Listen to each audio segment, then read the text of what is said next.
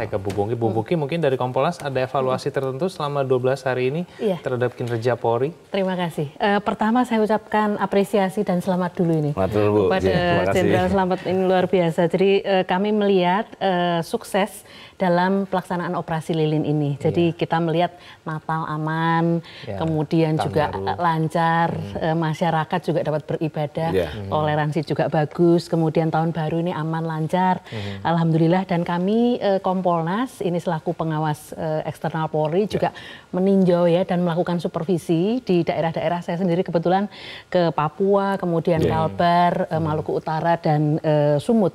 Dan kami bisa melihat eh, di situ eh, modernitasnya sudah luar biasa nih. Ya. Jadi mulai ada common center sampai di level bawah pos-pos itu Ya. kami bisa jangkau semuanya dan bisa cek eh, kondisinya. Artinya Oke. ketika ada eh, bencana atau ketika ada eh, apa namanya kepadatan lalu lintas itu dengan mudah bisa segera diurai Ya. karena adanya apa namanya komunikasi yang berjenjang tadi. Ya. Kemudian juga saya melihat eh, kesigapan, kesiapan itu juga sudah bagus dan juga sinergitas dengan stakeholder itu eh, sudah bagus sehingga kita melihat hasilnya eh, kemudian juga eh, apa namanya sesuai dengan harapan Ya. dan eh, termasuk juga eh, perkiraan-perkiraan eh, ancaman dan sebagainya itu sudah bisa diantisipasi dengan baik Ya, itu Mas Bu. Bungki, apakah memang menurut Anda Polri ini sudah eh, mampu mengantisipasi segala Betul. persoalan yang kemudian biasanya muncul Iya. pada saat arus mudik maupun tidak hanya Natal dan Tahun Baru, Iya. tapi berbagai macam. Bu Betul. bagaimana? Eh, Kalau menurut saya sudah eh, Oke. sudah bisa dilaksanakan dengan baik, sudah bisa dibaca,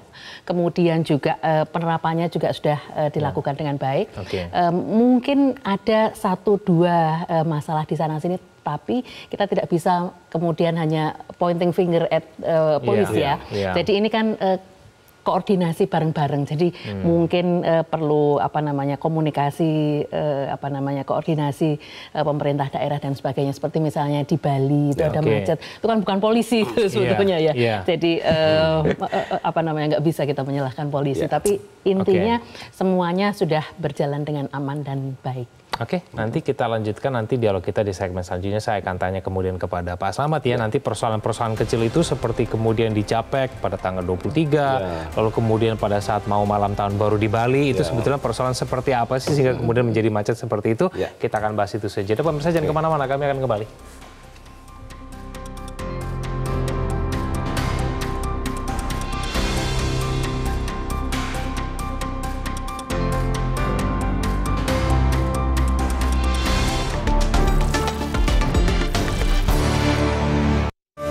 Adalah perempuan-perempuan berdedikasi Jelajahi cara baru mendapatkan informasi. Download Metro TV Extend sekarang.